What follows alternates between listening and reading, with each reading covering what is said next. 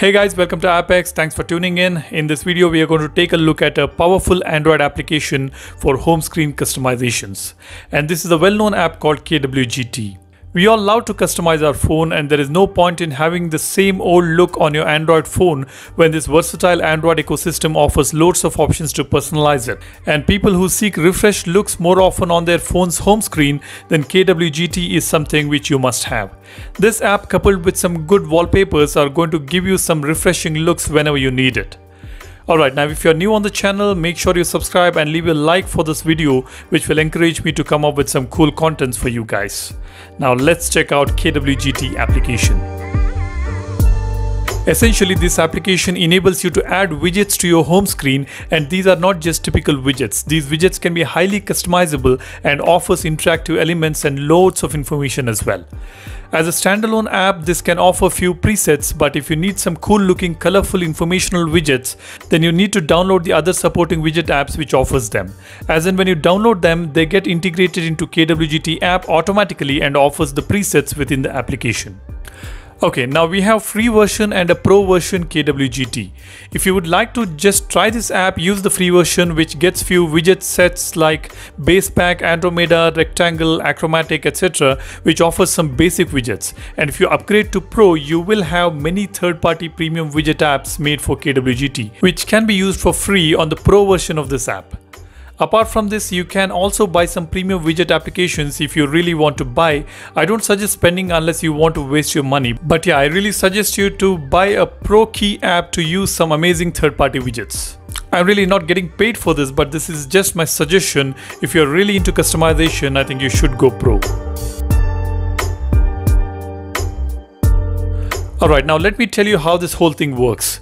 After you install KWGT app along with some presets, just go to the home screen, press and hold to add a widget. Search KWGT and add your desired size. The size can be changed after adding it to the home screen. Once you add it, just press the widget which will take you to KWGT application. This is where the magic happens. Here you select the preset you want and just save it. Just go back to the home screen to see this beautiful widget placed there.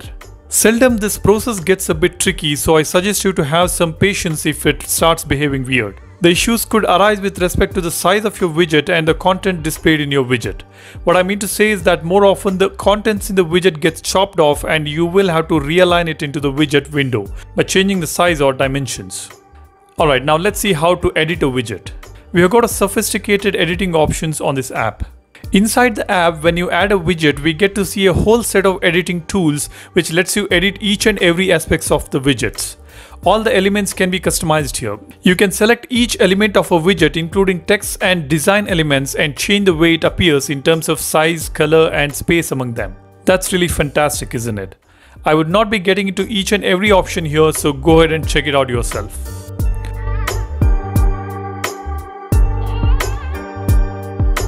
Alright then, what else do we get here? This app offers diverse array of widgets which makes it very interesting. Apart from the colorful time and date widgets, it offers few other interactive widgets with some application shortcuts integrated within them. In some of the widgets, we get detailed weather information, battery information, some cool colorful search bars, calendar widgets like you see here. You can see on this calendar widget, I can even set a picture in this corner. Just an example of how it's detailed.